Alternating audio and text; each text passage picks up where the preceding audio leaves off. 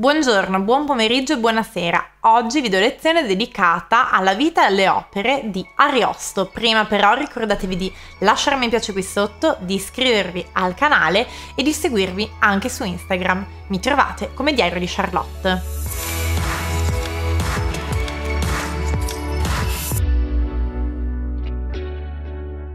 Insieme a Machiavelli, Ludovico Ariosto è il più grande scrittore, lo scrittore più rappresentativo del Rinascimento italiano.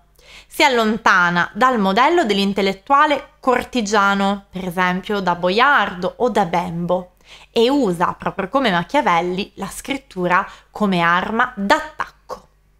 Ariosto è un classico perché il suo Orlando Furioso non è, come invece pensava Croce, letteratura di evasione, bensì ci ricorda l'intelligenza viva anche e soprattutto di immaginazione e di ironia, come dice lo stesso Calvino. Calvino, grande amante di Ariosto, che vi ha dedicato proprio un libro nel quale rilegge l'Orlando Furioso che vi consiglio. Parliamo ora però della vita di Ludovico Ariosto. Nasce nel 1474 a Reggio Emilia, è primo di dieci, una famiglia di dieci tra fratelli e sorelle.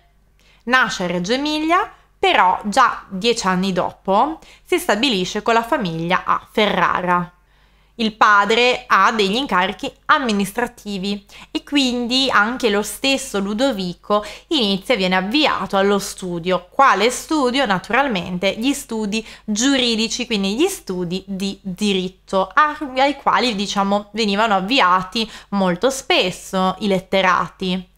Ce lo dice proprio Ariosto cosa ne pensa di questi studi giuridici.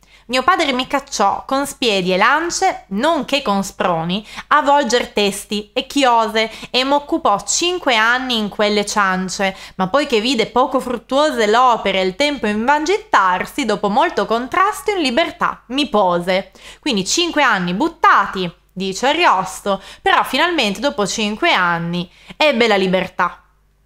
Nel 1494 dunque Ariosto può finalmente dedicarsi agli studi umanistici e poco tempo dopo viene accolto alla corte degli Este. Tuttavia, pochi anni dopo, sei anni dopo, nel 1500, suo padre muore.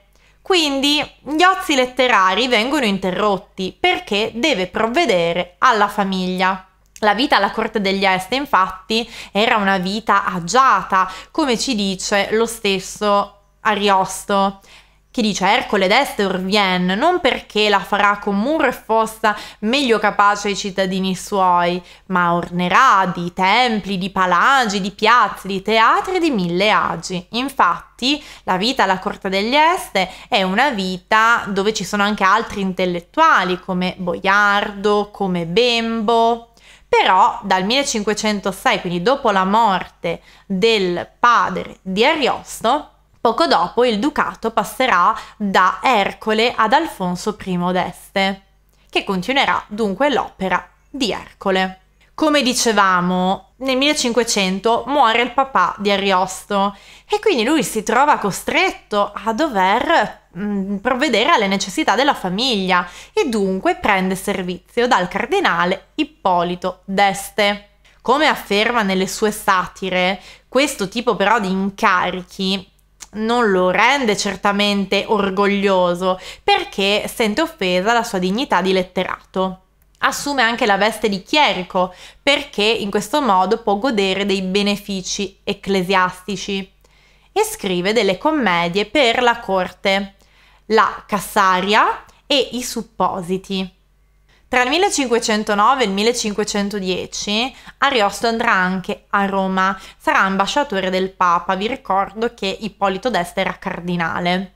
In questo modo Ariosto voleva ottenere, era diciamo un'azione diplomatica per ottenere dei prestiti per la guerra contro Venezia. Vi ricordo che nel 1509 c'è la battaglia di Agnadello. Ma il Papa arriva a minacciarlo addirittura di morte, quindi non ottiene questi prestiti che avrebbe voluto. Come dicevamo prima, Nel 1500 muore suo padre, quindi lui prende servizio dal cardinale Ippolito d'Este. Allo stesso tempo prende anche gli ordini, quindi diventa chierico. Naturalmente non ha sentito alcuna chiamata divina, semplicemente vuole avere dei benefici ecclesiastici, dunque non vive come un chierico, tant'è che ha anche un figlio, Virginio, con una donna popolana. A Firenze ancora frequenta anche una donna sposata, Alessandra Benucci, con cui non convive, però ha una relazione assidua. Una data che vi dovete ricordare oltre al 1500 è il 1516. Infatti Ariosto pubblica la prima edizione dell'Orlando Furioso, edizione in 40 canti dedicata ad Ippolito d'Este. L'anno dopo però Ariosto rompe con Ippolito perché nel 1517 il cardinale vuole che lo accompagni in un viaggio in Ungheria, ma Ariosto non ne ha la minima intenzione e quindi rifiuta, dunque il cardinale lo cancella dalla lista dei cortigiani. È in questa occasione che Ariosto scrive le sue satire. Infatti, in queste satire esprime proprio questa rottura in modo ironico. Sono sette satire che poi andremo a vedere in modo più approfondito. Dato che ha rotto con Ippolito d'Este, passa al servizio del duca Alfonso d'Este, che era fratello di Ippolito. Continua dunque la carriera teatrale. Inizia I studenti, che rimane incompiuta, e termina un'altra commedia, Il Negromante.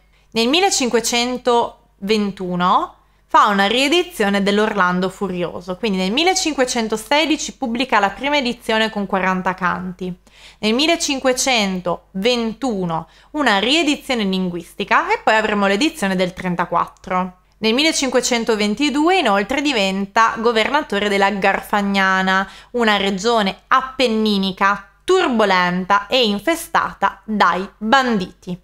Pochi anni dopo torna a Ferrara e scrive altre satire e compone un'altra commedia, La Lena.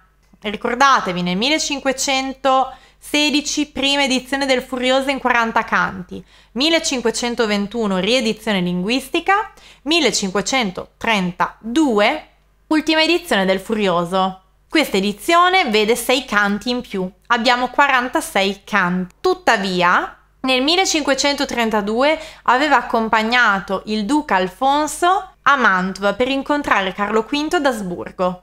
Il poeta però si ammala e nel 33 muore, quindi non può curare la quarta edizione del Furioso. La morte di Ariosto vanifica il progetto di una quarta edizione Inoltre lascia un'opera incompiuta, I Cinque Canti, che era un lungo episodio sui tradimenti di Gano di Maganza. Ci vediamo alla prossima video lezione nella quale approfondiremo le opere e le trame di Ariosto.